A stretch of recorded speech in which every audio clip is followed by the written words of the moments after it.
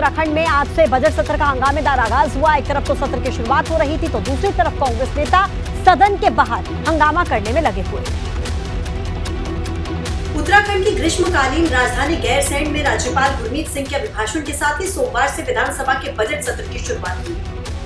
दूसरी तरफ़ सदन के बाहर कांग्रेस ने धरना प्रदर्शन शुरू कर दिया। परीक्षाओं में धांधली, महँगाई, अंकिता भंडारी, हत्याकांड और युवाओं पर हुए लाठीचार्ज को लेकर कांग्रेस के विधायक विधानसभा भवन के मुख्य गेट के सामने प्रदर्शन कर नारेबाजी कर दिवाली खाल में विधानसभा कूच करने जा रहे कांग्रेस कार्यकर्ताओं को पुलिस ने गिरफ़्तार कर लिया। सारे ऐसे मुद्दे हैं ट्रिपल एस घोटाला पटवारी पेपर लीक ये सारे ऐसे मामले हैं जिसमें सरकार पूरी तरह फेल है। उत्तराखंड विधानसभा का बजट सत्र 18 मार्च तक चलेगा। 15 मार्च को पहाड़ का बजट पेश होना है। लेकिन सदन के पहले दिन कार्यवाही में हुई कांग्रेस ने अपने तेवर साफ़ कर दिए हैं। ऐसे में तय है कि कांग्रेस का प्रहार बदलते दिन के साथ और आक्रामक होने वाला है। मुख्यमंत्री पुष्कर सिंह धामी के सामने उनकी सरकार को विपक्ष के हमले से बचाने की चुनौती है।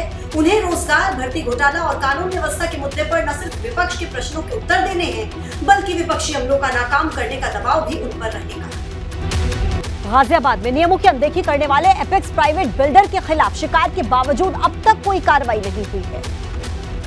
गाजियाबाद के सिद्धार्थ विहार योजना में बने द क्रिमिलियन सोसाइटी ने फ्लैट निर्माण में जो नियमितता बढ़ती थी, उसके खिलाफ जाँच और कार्रवाई के निर्देश के बावजूद अब तक आवास विकास परिषद की तरफ़ से कोई कार्रवाई नहीं हुई है। विकास के अधिकारियों की तो कहीं ना कहीं आवास विकास के अधिकारियों की इसमें मिली भगत थी कि जो अपेक्स बिल्डर ने इस तरह से अपना प्रोजेक्ट तो पूरा कर लिया, लेकिन जो आशियाने बनाने थे गरीबों के लिए, अपेक्स बिल्डर ने वो नहीं बनाए। जो नियम थे, नियमों की अनदेखी की एपेक्स बिल्डर को द क्रिमिलियन सोसाइटी बनाने की मंजूरी मिली थी और इसके लिए बिल्डर को ईडब्ल्यूएस और एलआईजी कैटेगरी के 118 118 फ्लैट बनाने थे। लेकिन एपेक्स बिल्डर ने अब तक ये फ्लैट नहीं बनाए हैं। यही नहीं अपेक्स ने सोसाइटी में अभी तक किसी फ्लैट का रजिस्ट्रेशन तक नहीं कराया।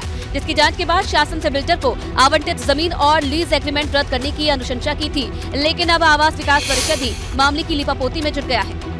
हमने नोटिस जारी की है। नोटिस के बाद अगर वसूली हो जाती है तो अच्छी बात है अदरवाइज़ फिर जो दूसरी कार्रवाइयाँ हैं आरसी वगैरह की वो हुई इस मामले में आवास आयुक्त रणवीर प्रसाद ने 14 दिसंबर 2022 को एबीपी गंगा से बात करते हुए नियमानुसार कार्रवाई करने की बात कही थी लेकिन आवास विकास परिषद इस मुद्दे पर कुछ भी बोलने से बचता नज़र आ रहा है। इतिहाद मिल्लत काउंसिल के अध्यक्ष मौलाना तौकीर रजा अली खान के खिलाफ मुरादाबाद में एफआईआर दर्ज की गई। है तौकीर रजा ने मुरादाबाद में शनिवार को प्रधानमंत्री नरेंद्र मोदी पर विवादित बयान दिया था और अभद्र भाषा का इस्तेमाल किया था। उनके इसी भड़काऊ बयान पर मुकदमा दर्ज किया है। मुरादाबाद के नागपरी थाना में पुलिस ने धारा एक सौ तिरपन ए, दो सौ पिचानवे पाँच सौ पाँच, दो के तहत केस दर्ज किया है। इसके साथ ही पुलिस ने सोशल मीडिया पर तौकीर रजा के सभी वायरल वीडियो को जाँच में शामिल करके एक्शन लेने वाली है। इसके साथ ही तौकीर रजा ने हिंदू समाज पर भी निशाना साधा था। विश्व हिंदू परिषद की नेता साध्वी प्राची ने तौकीर रजा को देशद्रोही बताया और रजा पर सख्त कार्रवाई की बात की है। तोकीर रजा वास्तव में तो राष्ट्रद्रोही है। 2010 में जो बरेली के अंदर जो दंगा हुआ था उसमें तोकीर रजा मुख्य आरोपी था। सभा सांसद शफीकुर रहमान बर्क ने इस मामले में कानून के साथ चलने की हिदायत दी है। बाटी का तो देखिए लाठी न उधर से चलनी चाहिए न इधर से चलनी चाहिए। कानून कानून हमारे पास मौजूद है।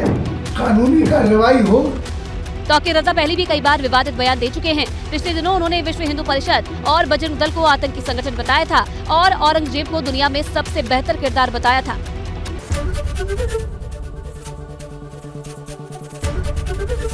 एबीपी गंगा, खबर आपकी जुबा आपकी।